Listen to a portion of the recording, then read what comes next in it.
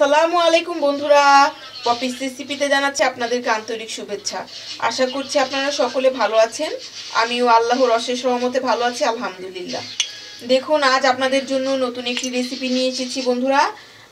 আমরা সবসময় বন্ধুরা গরুর মাংসের রেজালা খেয়েছি, মুরগির মাংসের রেজালা খেয়েছি, কত না কত রেজালা খেয়েছি। আজ আমি বন্ধুরা রুই মাছের রেজালা তৈরি করব। পুরোপুরি মাংসের মতনই লাগবে রেজালাটা বন্ধুরা। চলুন তাহলে তৈরি করি।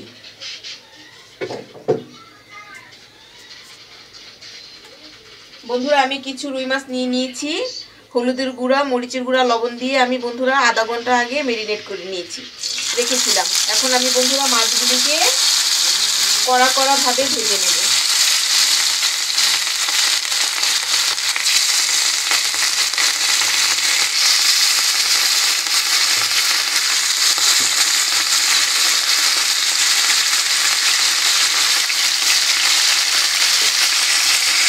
বন্ধুরা এখন আমি লাল করে মাছগুলিকে ভেজে নেব।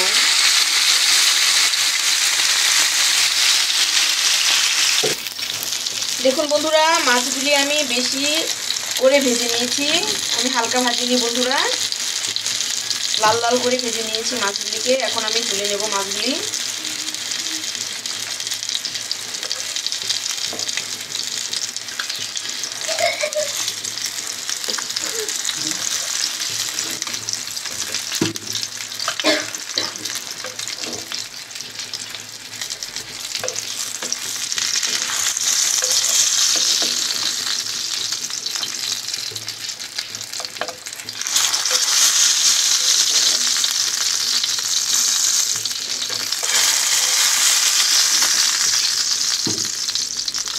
দেখুন বন্ধুরা, মাছগুলি আমি তুলে নিয়েছি।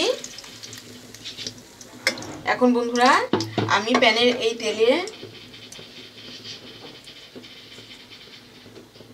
আমি দেড় কাপ মতো পেঁয়াজ বন্ধুরা, আমি ব্লেন্ডারে ব্লেন্ড করে নিয়েছি। এখন আমি এই পেঁয়াজগুলি দিয়ে ভালো করে ভেজে নেব বন্ধুরা।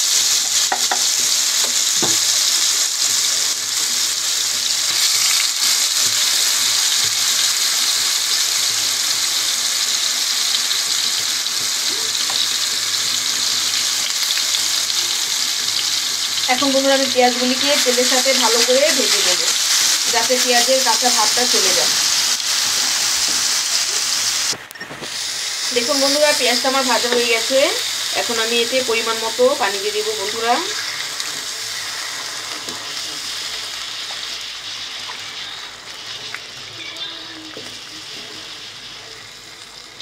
এখন আমি গুঁড়ো মশলাগুলি অ্যাড করে দিব এতে।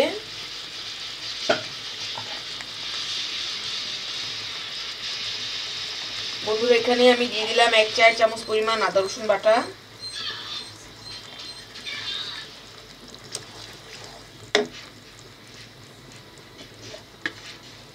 পরিমাণ মতো লবণ।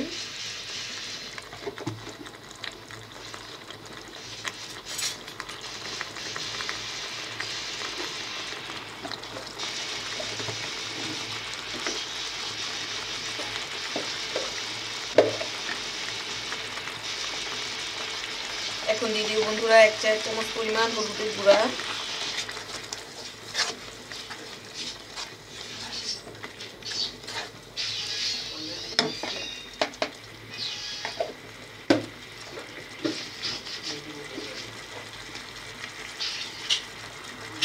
হাফ চার চামচ পরিমাণ মরিচের গুঁড়া।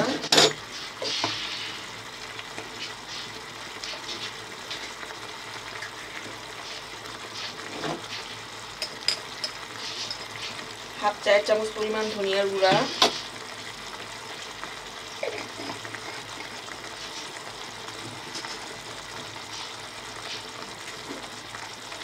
আর বন্ধুরা, যেহেতু আমি রেজালা রান্না করব, সেহেতু এখানে আমি দিয়ে দিব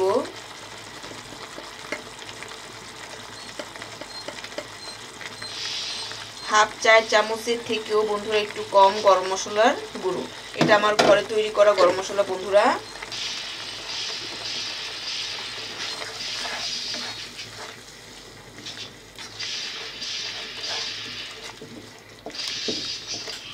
এর সাথে আরও অ্যাড করে দিব। কিছু কাঁচা পাকা টমেটো বন্ধুরা, আমি কুচি করে নিয়েছি। টমেটোটা মশলার সাথে দিলে বন্ধুরা একসাথে কষে সিদ্ধ হয়ে মিশে যায়। এখন আমি সব কিছু ভালো করে কষিয়ে নেব বন্ধুরা।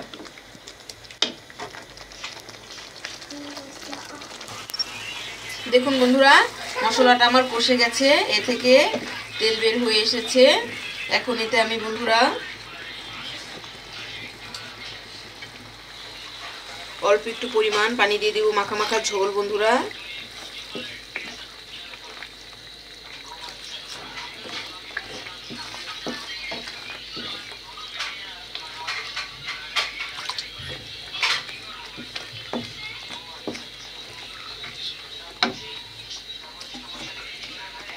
এতে আমি মাছগুলি অ্যাড করে দেব।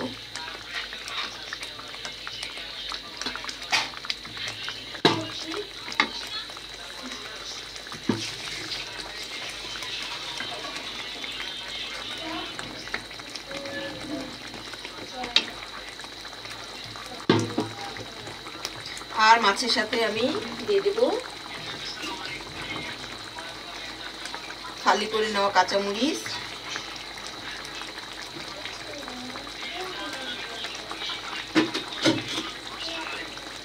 এখন উল্টে পাল্টে আমি মশলার সাথে মাছগুলিকে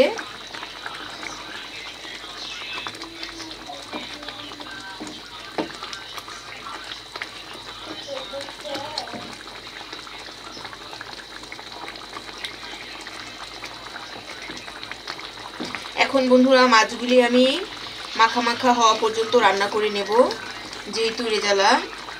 একটু মাখা মাখা না হলে ভালো লাগবে না। এখন আমি একটু মাখা মাখা করে নিচ্ছি হাঁসগুলিকে দেখুন বন্ধুরা, আমি এই পর্যায়ে জিরা, আমি ভেজে গুঁড়ো করে নিয়েছি। আমি দিয়ে দেবো বন্ধুরা। কেননা পরে দিলে বন্ধুরা ঝোলের সাথে, মাছের সাথে জিরা গুঁড়িটা মিশবে না। সেহেতু আমি আগেই দিয়ে দিলাম। এখন আমি হালকা হালকাভাবে নেড়ে বন্ধুরা মিশিয়ে দেবো।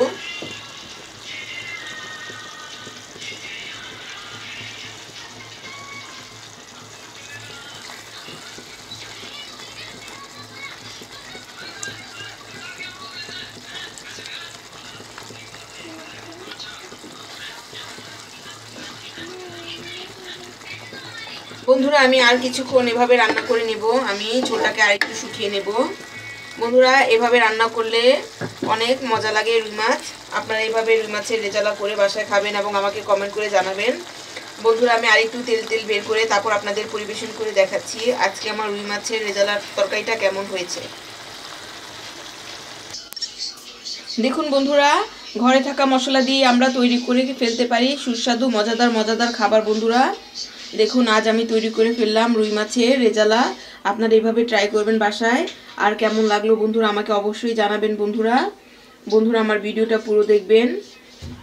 যারা আমার চ্যানেলটাকে সাবস্ক্রাইব করেছেন, তাদের সকলকে জানাচ্ছি অসংখ্য ধন্যবাদ। আর আমার পাশে থাকবেন।